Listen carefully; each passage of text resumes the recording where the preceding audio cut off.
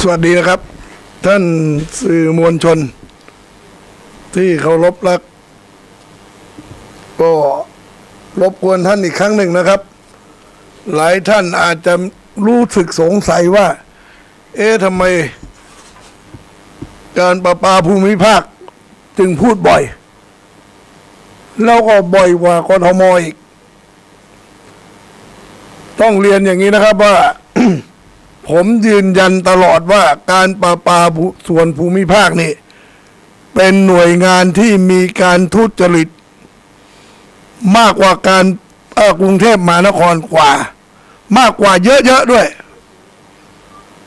เพียงแต่ว่ามันไม่ได้เป็นเรื่องใกล้ตัวพวกเราเลยไม่ได้สนใจ แล้วณวันนี้นี่ผมมั่นใจว่าการประปาส่วนภูมิภาคนี่ขาดสภาพคล่องเรียบร้อย น่าจะติดเพิ่มเข้าไปแล้วครับ วันนี้รัฐวิสาหกิจที่รอเข้าคิว ฟื้นฟูสภาพอยู่เนี่ยเจ็ดแห่ง มันต้องบวกการประปาภูมิภาคเข้าไปอีกหนึ่งแห่งแน่นอนแล้ว เพราะว่าเงินที่จะจ่ายเงินเดือนอะไรก็ดีขณะนี้นี่ ต้องไปเอาจากกองทุนประกันผู้ใช้น้ำบวกจากเงินกู้จากแหล่ง เงินทุนต่างๆ ไปใช้จ่ายแล้ว แต่ที่ดูเหมือนกับว่ามันยังเออไปได้อยู่ก็คือปรากฏว่ามีการลงทุนหลายโครงการนะครับ เยอะมากเป็นกว่าหมื่นล้านที่ลงทุนแล้วเนี่ย ไม่ได้ผิดน้ำอะไรเลย ฝังท่อไว้เฉยๆแต่ไอ้ท่อเหล่านั้นเนี่ย มันยังเป็นสินทรัพย์อยู่ ทั้งทั้งๆที่ไม่มีรายได้ทำรายได้อะไรเข้ามาเลย ท้ายที่สุดแล้วของพวกนี้พอสินทรัพย์มูลค่ามันเสื่อมสภาพไปแล้วหมดปั๊บก็เจ๊งทันทีเลย แต่วันนี้เจ๊งเยอะมากแล้ว ผมยืนยันอย่างนั้นได้เลยนะครับ พูดเต็มปากเต็มคำแล้วผมก็ความจริงแล้วเนี่ย ตอนที่ท่านผู้ว่าคนปัจจุบันเข้ามาเนี่ย ผมก็มีความหวัง เพราะว่าโดยประวัติท่านท่านก็เป็นคนที่ค่อนข้างจะต่อต้านการทุจริต แล้วก็มีภูมิปัญญาด้านวิชาการดี ผมไม่มั่นใจว่าคนที่มีภูมิปัญญาวิชาการดี แล้วนี่มันจะเป็นนักบริหารที่ดีด้วยเปล่าเท่านั้น แต่ก็ให้กำลังใจ แล้วเขาท่านรับตำแหน่งเมื่อวันที่ 13 มิถุนา12 มิถุนาเนี่ย ก่อนวันหนึ่งผมเป็นคนแถลงข่าว แล้วบอกท่านเลยนะครับว่ามันมีปัญหาอะไร แล้วท่านกำลังเดินเข้าสู่ดงเสือ ขอให้ท่านเตรียมตัวเตรียมใจที่จะรับสภาพมีอะไรที่ท่านควรจะไปแก้ไขบ้างนะครับ อย่างไรก็ตามนะครับสามเดือนผ่านไปนี่หลังจากที่ผมให้คำแนะนำเจอกันเป็นการส่วนตัวแถลงข่าว ไม่มีอะไรเปลี่ยนแปลงเลย ผมบอกว่าวันนี้เนี่ยนะครับ โครงการของการป่าปาเนี่ย ที่เงินมันเสียหายเยอะก็คือเวลาไปทำถนนแล้วไม่มีการส่งมอบพื้นที่เพราะฉะนั้นพอทำไปแล้ว ผลที่สุดฝังท่อฟรีน้ำไม่ได้เดิน เพราะไปต่อไม่ได้ ก็ไม่ได้มีการแก้ไข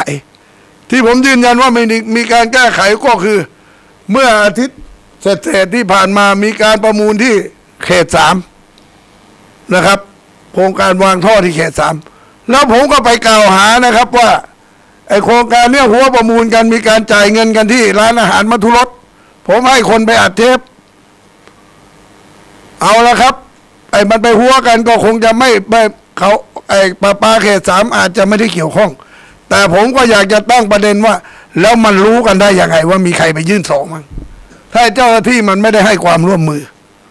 แล้วที่สำคัญก็คือว่ายังไม่ได้มีการส่งมอบพื้นที่กันเหมือนกับโครงการอื่น ๆ การล็อกสเปคก็ยังล็อกกันเป็นกิจวัตร ไม่ได้มีการที่นึกจะแก้ไขใด ๆ ทั้งสิ้น การคืนเงินค้ำประกันทอง บอกว่ากฎหมายกำหนดว่าต้องคืนภายในสิบห้าวัน ผมเห็นที่จันทบุรีสี่เดือนแล้วมันก็ยังไม่คืนเขานี่ครับ ผมก็กำลังจะยุให้คนไปนั่งร้องเรียนให้มันโดนปปชซัดทันทีก็ดีเหมือนกันในจันทบุรีนั่นอยู่ดีๆ ยื่นประกวดราคาแล้วก็ผมแถลงข่าวว่าล็อกสเปคพรุ่งนี้จะเคาะราคาวันนี้ยกเลิกเลย แล้วก็ยังไม่ประมูลใหม่แต่เงินยึดเขาไว้แล้วทำท่าจะไปขอเขาบอกเอ้เงินนิดหน่อยขอไว้แล้วกัน ดูมันทำนิสัยขอทาน เพราะฉะนั้นผมบอกเลยนะครับว่าเรื่องต่างๆเนี่ย มันไม่ได้มีการแก้ไขจนกระทั่งผมมีความรู้สึกว่า ผมก็ทนไม่ได้แล้วมีความรู้สึกว่าถึงเวลาแล้วที่ควรจะพ้นตำแหน่งได้แล้ว ครบหกเดือนแล้วไม่ทำอะไรแล้ว ไปได้แล้ว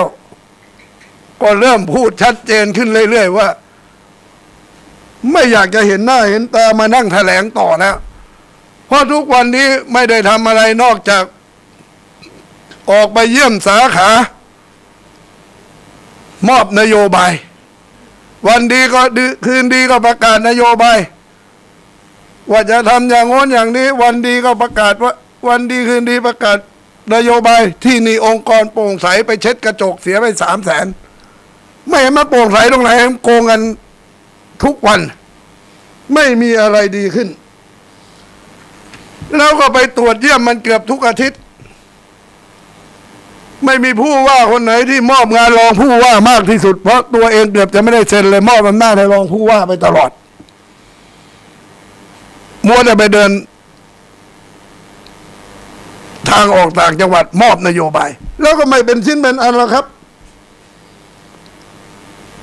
ไปดูเห็นว่ามันมีการกระทำผิดทุจริตก็ไม่เห็นได้แก้ไข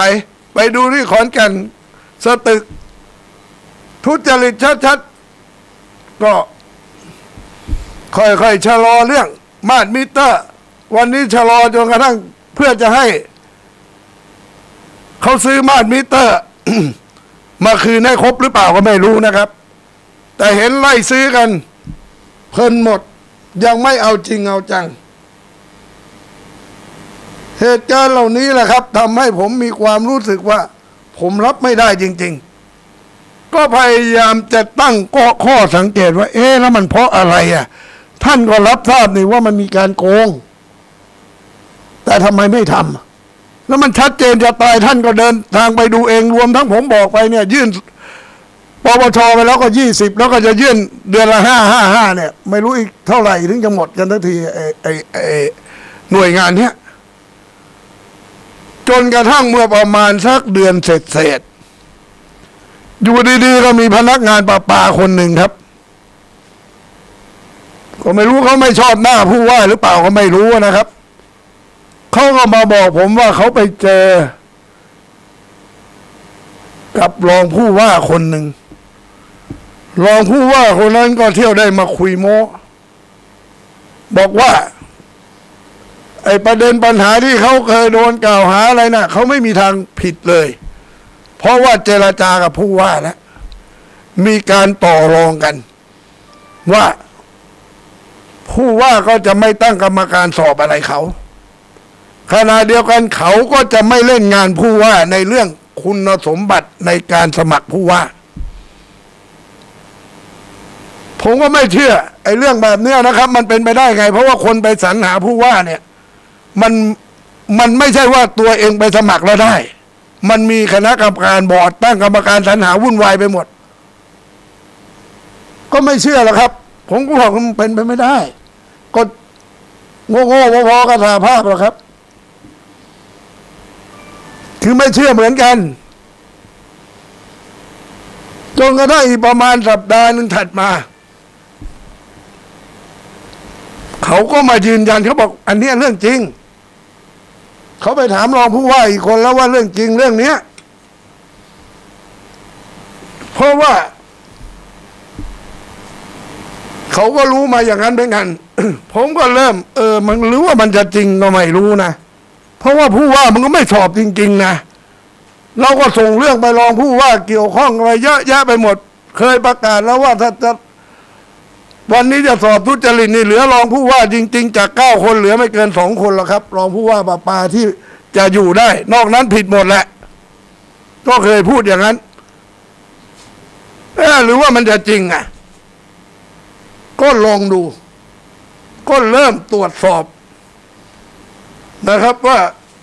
ไอ้ที่เขาพูดพูดกันน่ะ ที่เขาบอกน่ะ มันเป็นไปได้ไหมก็เริ่ม จากเอกสารครับ ไปค้น คือเขาบอกว่า ท่านผู้ว่าเนี่ย ไปสมัครเข้ารับการสรรหาโดยเอาเอกสารว่า เคยเป็นผู้บริหารอยู่ที่บริษัทพฤกษาเรียนเอสเตทหมู่บ้านจัดสรรนะครับ แล้วก็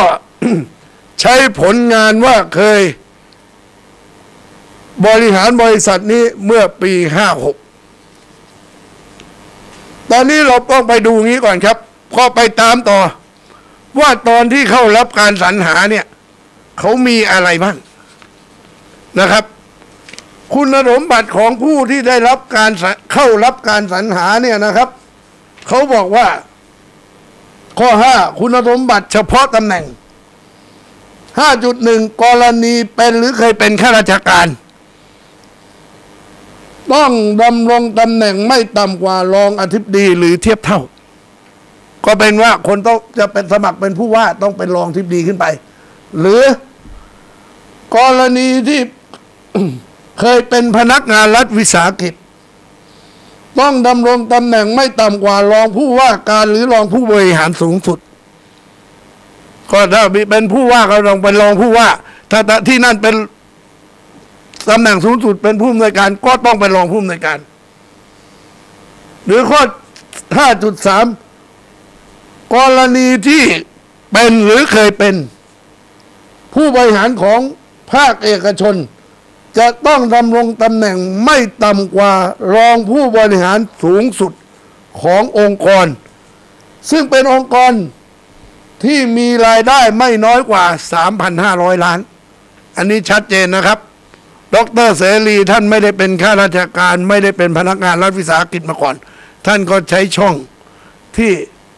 เป็นผู้บริหารของบริษัทเอกชน เขาก็เขียนไว้ชัดเจนว่าต้องเป็นรองผู้บริหารสูงสุดของบริษัท เอกชนมีแล้วเอกชนนั้นต้องมีรายได้ไม่ต่ำกว่า 3,500 ล้าน ก็เริ่มเข้าเขาล้วก็บอกต่อครับ เขาบอกว่าดรเสรีเนี่ย เอาคุณสมบัติว่า ที่มีรายได้ไม่น้อยกว่า 3,500 ล้านบาทเนี่ย